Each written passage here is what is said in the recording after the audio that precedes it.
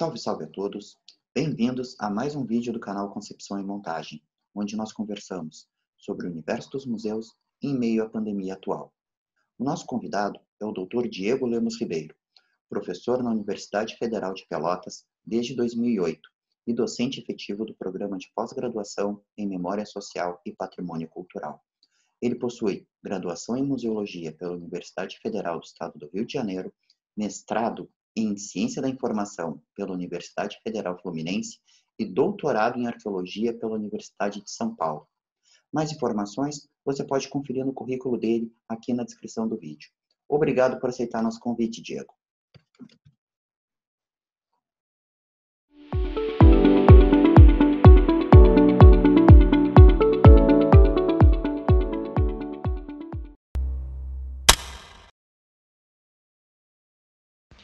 O canal Concepção em Montagem espera que todos estejam bem, realizando todas as recomendações da Organização Mundial de Saúde para frearmos o contágio do novo coronavírus. Lave sempre que possível suas mãos, mantenham-se isolados, evitando sair de casa desnecessariamente e fazendo uso de máscara da maneira correta quando precisar se deslocar. Agora, se você exerce uma atividade considerada essencial para o bom funcionamento da sociedade e não pode estar em quarentena, conte com o nosso agradecimento pelo seu trabalho e coragem, mas cuide-se. Você é muito importante e cada vida conta.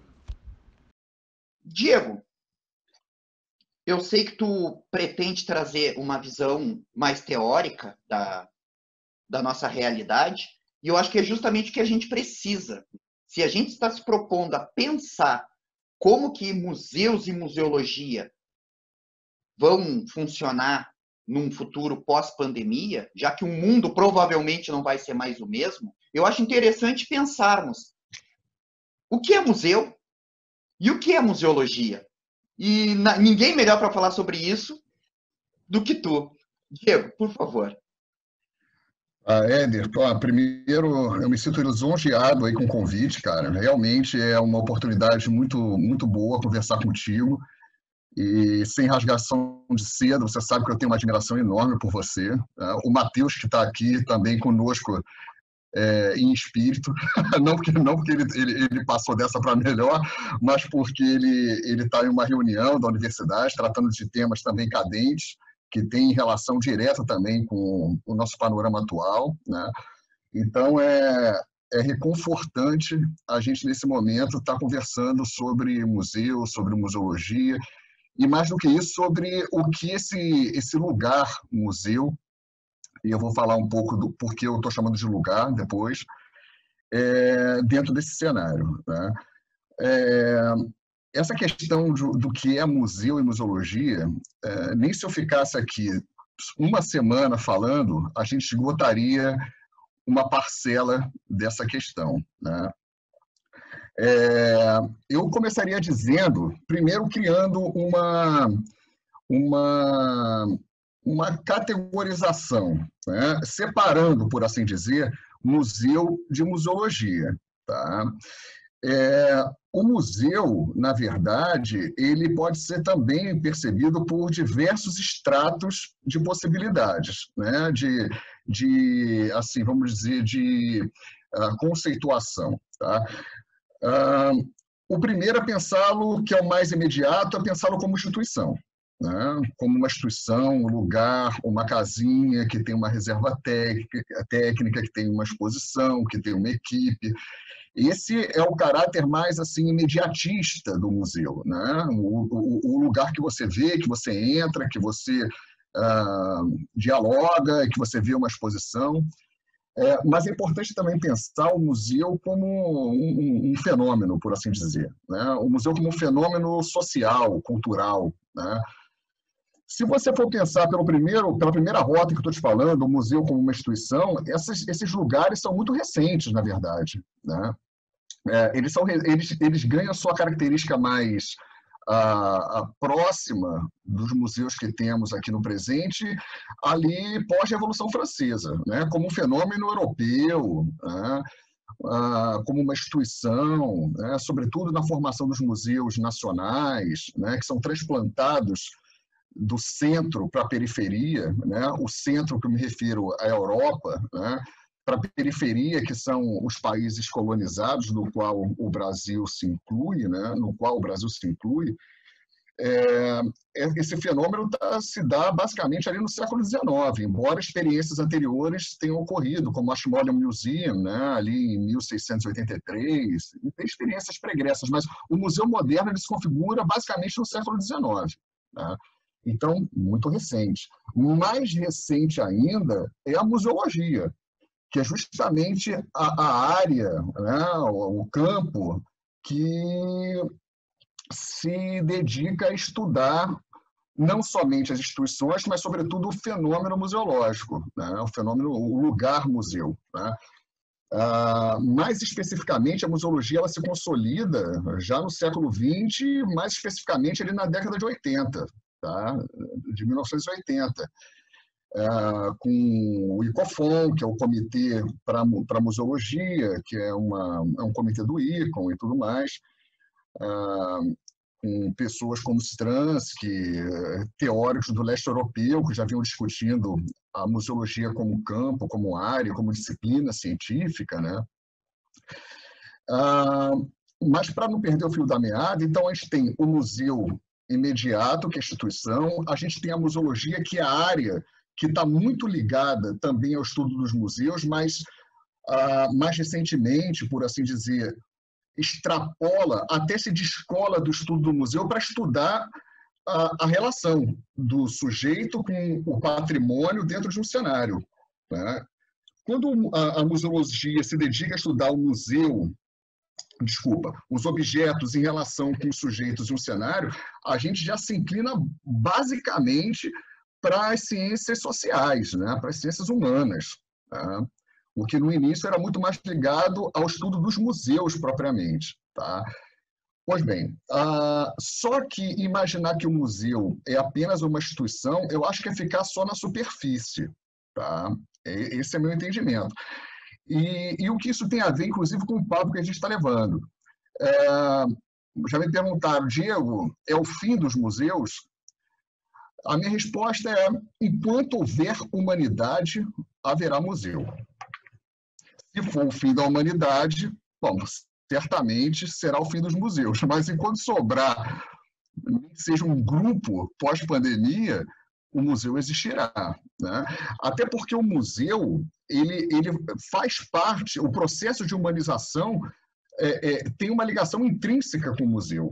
O museu como um fenômeno, né? Como um fenômeno social. É, e, e, um exemplo disso são as próprias coleções, que são os, os, os a, a, a, o embrião do museu, é a formação de coleção. E, ora, a humanidade coleciona desde as priscas eras, desde que gente é gente. Né? Ah, até um arqueólogo, Leroy Gourand, um arqueólogo francês, ele, ele fala sobre lá na, na, no, popularmente chamado Os Homens da Caverna, né? ele pesquisando lá, no, no, fazendo suas pesquisas arqueológicas, ele descobre lá um conjunto de objetos uh, reunidos artificialmente, ou seja, houve uma intenção de coletar aquelas coisas para fins de memória, meu amigo. Você entende? Então, ali há uma perspectiva, por assim dizer, museológica, sem nem existir museu. Percebe? E o que seria essa perspectiva museológica? O olhar simbólico sobre as coisas e a vontade de levar adiante, de preservar. Tá? E aí eu falo para os meus alunos às vezes, eles ficam até assim, ah, Diego, isso é muita viagem sua, mas não faz muito tempo, uh, uns arqueólogos fazendo uma pesquisa lá na África, né? Eles, eles descobriram o que eles nomearam de homem, Homo naledi, tá? Homem de Naled. O que, que são esses caras? É, eles reconhecem que ali seriam, há dois milhões e meio de anos, um primeiro enterramento simbólico, ritual. Tá? Então, é, é, o que significa intencional, ritual? Existe um rito de memória, uma vontade de levar adiante, mais do que uma vontade de levar adiante, uma vontade de memória, de inscrever, de, de deixar rastros. Ora, se não é esse o embrião do museu. Não é? Aí me perguntaram, Diego, você está dizendo que há dois milhões e meio de anos existia um museu? Não. Museu? Não. Mas existe, pelo olhar da museologia, uma vontade de museu, uma vontade de memória, uma vontade de levar adiante. Ora bolas, vamos trazer esse papo para o presente. E reforço: enquanto houver humanidade, haverá museu. E diria mais: os momentos mais tensos da humanidade é o que mais demandam museus, é o que mais demandam memória. Não uma memória sonho, mas, como diz Bose, uma memória trabalho, um trabalho de memória. Né? E eu acho que isso é importante sinalizar.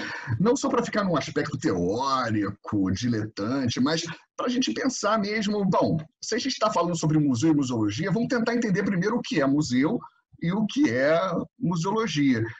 Então, ao museu, cabe ainda hoje né, a gente, como eu disse, trabalhar memória.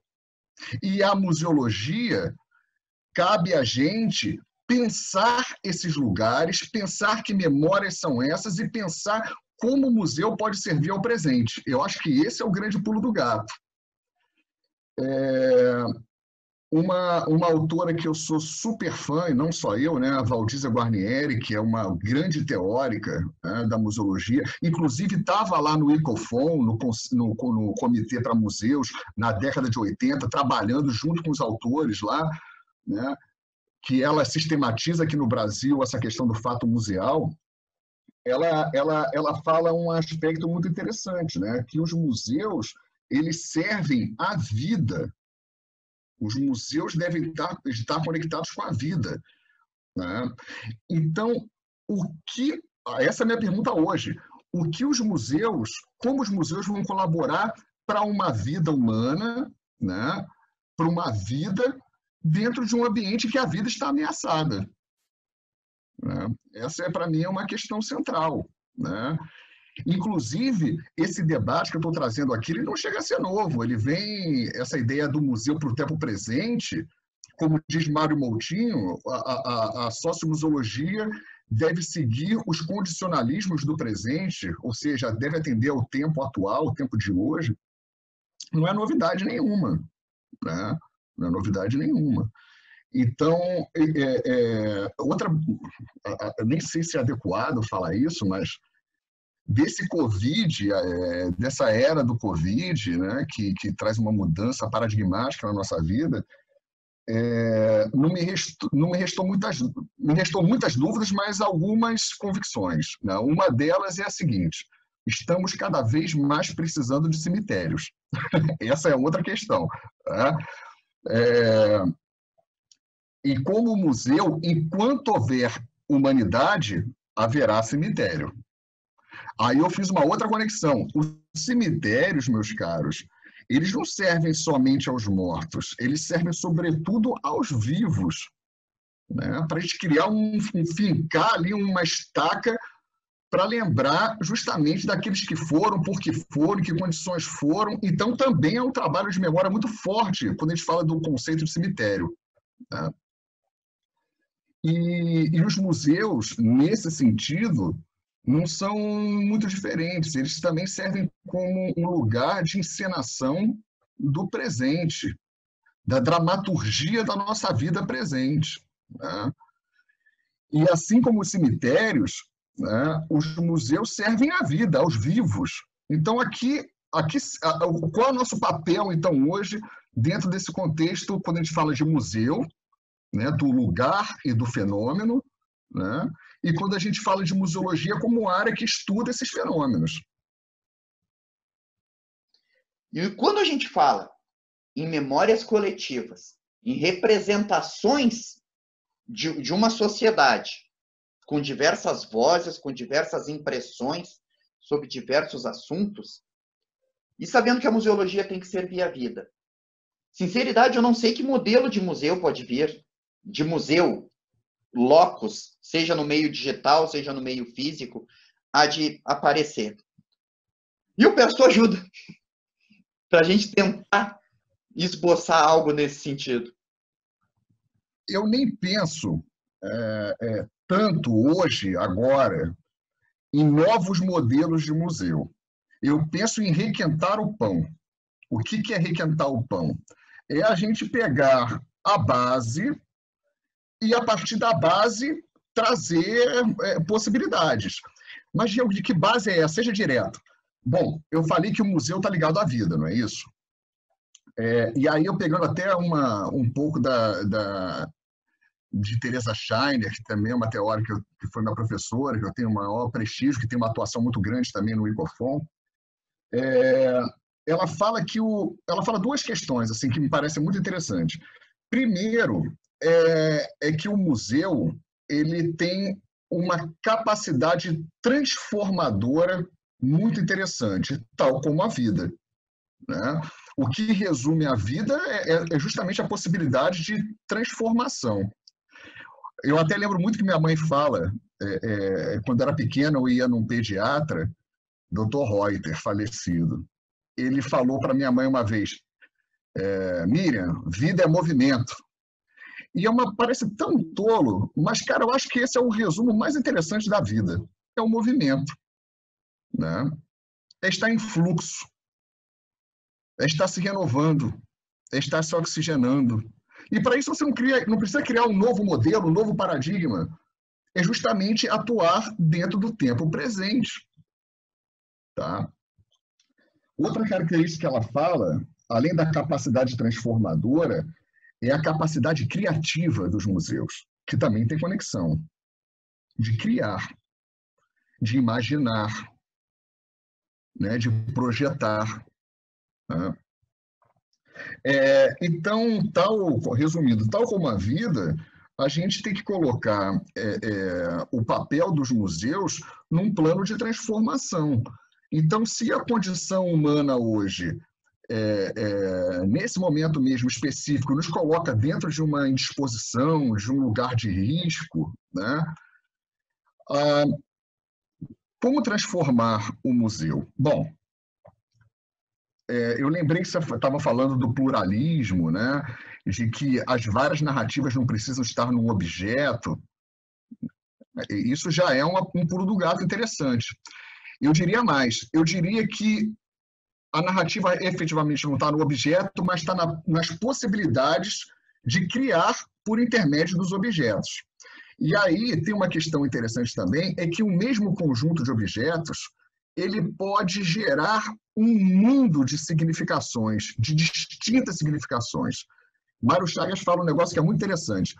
É, não é bem nessas palavras, mas é, enquanto dois objetos não podem ocupar o mesmo lugar ao mesmo tempo, bom, isso é uma lei da física muito, muito rasa até hoje, né? É, mesmo objeto pode ocupar vários, várias imagens, várias possibilidades de narrativas. Ah, Diego, está muito louco isso. Vamos colocar na prática. Tá? Na prática, eu vou te dar um exemplo que também não é meu, mas está num texto fundamental do Clifford Geertz. Não. É, é outro Clifford, é o James Clifford. Isso, exatamente. Isso. O que, que Clifford fala num texto fundamental chamado Museus como Zona de Contato? Ele traz um exemplo que os, os curadores e profissionais de museus de um museu de arte de Portland, lá no Maine, é, eles estavam querendo reorganizar aqueles acervos, entender melhor aquele acervo, né, aquelas coleções, e chamaram lá os nativos, né, um, um, um, grupo de anciãos de uma determinada é, é, é etnia, que agora não lembro qual é, para ir ao museu, para eles lerem, para eles interpretarem aqueles objetos que os curadores em uma visão é, é, é, é, decolonial, eles estavam tentando trazer novas imagens, novas leituras, na medida que a ciência não conseguia dar sentido àquelas coisas. Basicamente isso. E aí eles pensaram que, o, que, esse, que essa etnia ia chegar lá e ia começar a definir o que eram as coisas, organizar, e, eles enganam. Eles usaram esses acervos de forma ritual, dentro de, uma, de um rito muito interessante, para narrar sobre fatos memórias, cânticos que levam ao presente, a vida deles no presente. Então, se a ideia dos curadores era tentar organizar do ponto de vista científico, de documentar melhor, na verdade, o que os caras deram conta é que eles usavam aqueles bens para falar sobre si, sobre a sua vida, sobre seus ritos, sobre sua cosmogonia, sua cosmovisão sobre o mundo. E o que eu quero dizer com isso? Esses artefatos, eles podem ter múltiplas leituras. Então, a gente não precisa inventar um novo museu, um novo acervo. De repente, uma boa experiência é trabalhar com as comunidades, com que vocês, os museus, lidam no cotidiano, para que, de repente, novas leituras, a partir dos condicionalismos do presente, brotem daí. Essa é uma perspectiva plural dos acervos. Essa é uma perspectiva que hoje a gente chama de museologia compartilhada, de museologia colaborativa, que é você entender que nós, academia, não somos a única possibilidade de leitura das coisas, meu caro. E que nossas comunidades do nosso entorno, se é que a gente tem diálogo com essas comunidades, se não tiver também uma boa oportunidade de travar, é muito interessante também você ter uma curadoria compartilhada, uma escuta, é abrir para a escuta. Sabe aquela coisa de, ah, cara, a gente está muito preocupado em fazer uma exposição, a gente não tem tempo de dialogar. Esse é o tempo. Esse é o tempo. E a porta do museu não precisa estar aberta. Trabalhe o fenômeno. É isso que eu quero dizer é trazer esses, esses objetos que estavam muitos em reserva técnica, foto, muitos museus têm acervo de fotografia, é tentar ouvir. E para isso a tecnologia também serve. Né? Uma experiência que a gente teve muito, muito interessante lá no Museu de Morro Redondo, é, no qual eu também ajudo lá, atuo, é co colocar fotografia no Facebook lá da cidade, para a galera reconhecer quem são aqueles sujeitos. E, na verdade, não vem só nome, não, cara. Vem um amaranhado de narrativas, memórias, lugares que não existem mais na paisagem física, mas existem na paisagem subjetiva do sujeito. Se emocionam. O mesmo objeto, muitas narrativas possíveis. Essa é a questão central. Ah, eu estou falando de, de Morro Redondo, e esse foi mais um fato interessante. Um, uma fotografia gera zilhões de narrativas, zilhões de lugares para serem investigados, zilhões de novas fotografias, zilhões de conexões. Ora, se não é um museu feito de conexões, de rizomas, então, para não ficar só num campo assim, oh, blá, blá, blá, blá, a gente tem que. Dar... A melhor teoria é aquela que a gente coloca na prática. Essa é uma possibilidade. Aquilo que você não tem tempo para fazer, que é o mais nobre do museu, que é a, a abrigar gente, abrigar emoções, abrigar discursos, criar conexões, você pode fazer agora que está com tempo.